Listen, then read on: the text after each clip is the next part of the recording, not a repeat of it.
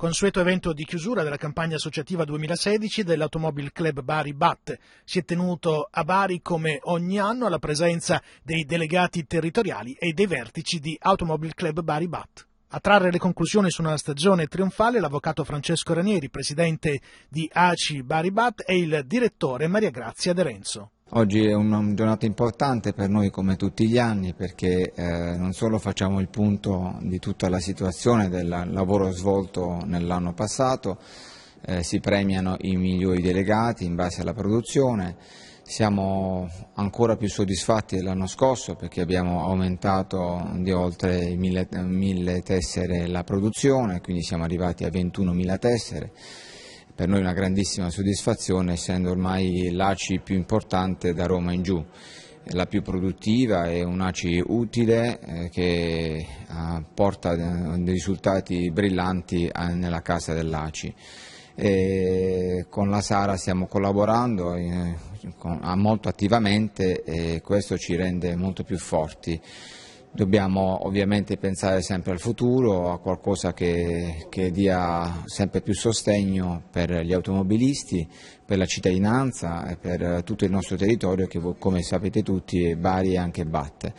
Speriamo bene nell'anno 2017 con sempre maggiore impegno ed entusiasmo. Abbiamo superato noi stessi rispetto al 2015 in cui nella classifica nazionale eravamo noni, quest'anno abbiamo chiuso con un ottavo posto che è ragguardevole. 2017 cosa riserva ai soci e a chi vuole avvicinarsi al mondo ACI?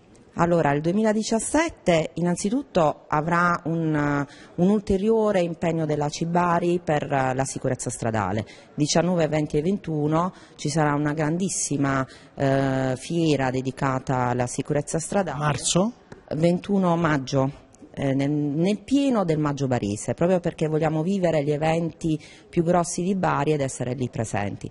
E poi la nostra chicca, quest'anno lo slalom è campionato eh, nazionale italiano e quindi faremo una serie di eventi sia eh, per presentarlo con la manifestazione del kart in piazza con kart elettrici utilizzati da bambini, eh, sia un, diciamo, la, la, le verifiche le faremo nella piazza centrale di Monopoli eh, con musica e come il nostro spirito, serio ma anche allegro. Anche quest'anno ci sono stati dei soci fortunati. Il signor Scianni Manico, per esempio, ha ottenuto un premio prestigioso. Ho trovato questa comunicazione da parte dell'ACI che ero il fortunato vincitore di un computer eh, della Apple di ultima generazione. Ecco, da quanti anni lei è socio ACI?